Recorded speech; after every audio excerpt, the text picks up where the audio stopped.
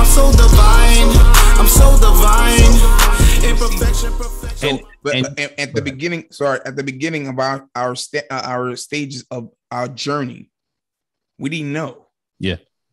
we thought the banks were were, were golden. We, we thought the banks was God. But now that we're seasoned and we at the level that we are in now, Mhm. it's only right to tell the next person the banks don't do nothing but take your money and lend lend the money out to somebody else.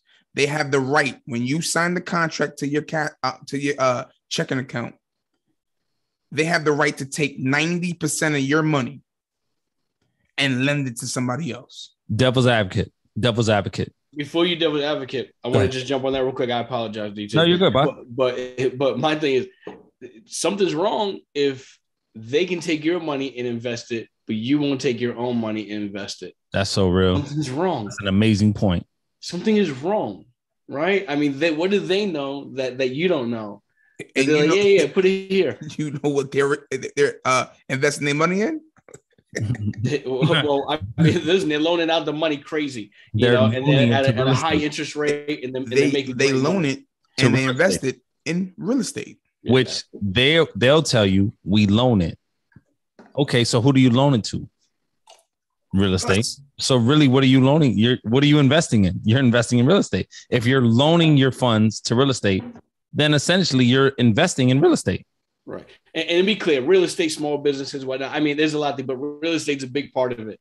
A hun- a hundred Uh, percent. real estate is a big part of the world. Huge You part. know, it's a big Huge part part. of it. And Yeah. quick, quickly, not to go deep into it, but let's say because you made a point, right? You said real estate, small businesses, right? So Yes. let, let's let's let's touch on you know a current event. Uh, okay, a bank says real estate, small businesses. How are real how are banks doing with investing in small businesses in 2021 right now? I'm sure they're not they're not doing well At all, because they're the government is PPP loaning, and you know the government is funding this investment. So, so you know, full circle, right? Our, our, our, our common theme, you know, our say common loan? Yeah, yeah, yeah, PPP. Mm. So full circle, like i- i- if if if their bread and butter at one time was small businesses, right, which is ha- is proven to not be coronavirus proof, right? right. what's the solid investment not on not in your opinion based off facts off evidence off current event Well, real estate stood solid. A 100% It stood solid. 100% So it's it's just, but you got like like what what Just Jerry was saying.